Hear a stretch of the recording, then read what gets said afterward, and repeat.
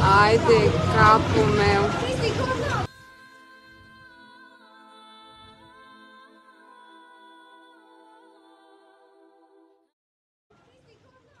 Four people have died and damages have been reported in 22 counties and Bucharest as a result of the severe storms and heavy precipitation in Romania on Wednesday, July 2026, according to the General Inspectorate for Emergency Situations IGSU.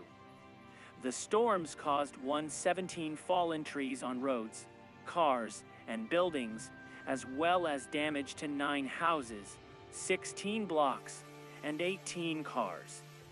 A total of 53 localities in 22 counties Alba, Arges, Bacau, Bihor, Botosani, Brasov, Caras-Severin, Constanta, Covasna, Harghita, Hunedoara, Maramures, Mehedinti, Mures, Neamt, Olt, Sadamer, Suceava, Sibiu, Salaj, Timis, and Tulcea and Bucharest were affected by these hazardous meteorological phenomena.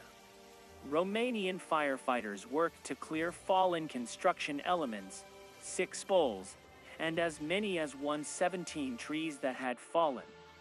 Interventions were carried out to evacuate water from one annex, seven cellars, two block basements, and two streets. The tragic toll includes four people who lost their lives.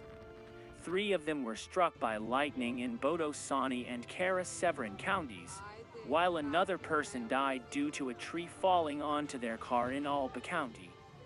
Additionally, another incident occurred in Ilfov County, where a fallen tree hit a moving car, resulting in the injury of one person who was taken to the hospital.